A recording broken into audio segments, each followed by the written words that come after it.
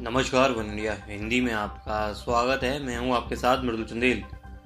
उत्तर प्रदेश की राजधानी लखनऊ के मेदांता अस्पताल में एडमिट सपा सांसद आज़म खां की तबीयत फिर बिगड़ गई है।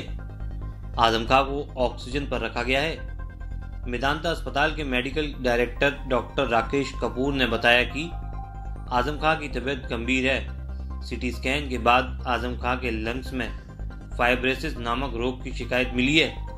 साथ ही साथ कैविटी भी पाई गई है, जिसके चलते उनका ऑक्सीजन सपोर्ट बढ़ाया गया है।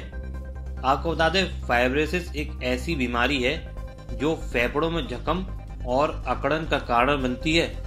इसके चलते शरीर को पर्याप्त मात्रा में ऑक्सीजन नहीं मिल पाता है, जिसके कारण सांस लेने में दिक्कत होती है। इसके चलते दिल संबंधी विकार और अन्य जटिलताएँ भी उत्पन्न हो सकती हैं। बता दें, आज़म खान की हालत काफ़ी गंभीर है और वो क्रिटिकल केयर मेडिसिन के एक्सपर्ट डॉक्टरों की देखरेख में रखे गए हैं। वहीं उनके बेटे मोहम्मद अब्दुल्ला खान की स्थिति स्टेबल है। हालाँकि उन पर भी सीसीएम के डॉक्टर लगातार नज़र बनाए हुए हैं। बता दें कि आज़म खान एक मई को सीतापुर जेल में कोरोना पॉजिटिव पाए गए थे। कोरोना के कारण तबीयत बिगड़ने के बाद उन्हें लखनऊ के मेदांता अस्पताल में भर्ती कराया गया था। उनके बेटे भी मेदांता अस्पताल में भर्ती हैं। आज़म खान फरवरी 2020 से सीतापुर जेल में बंद थे।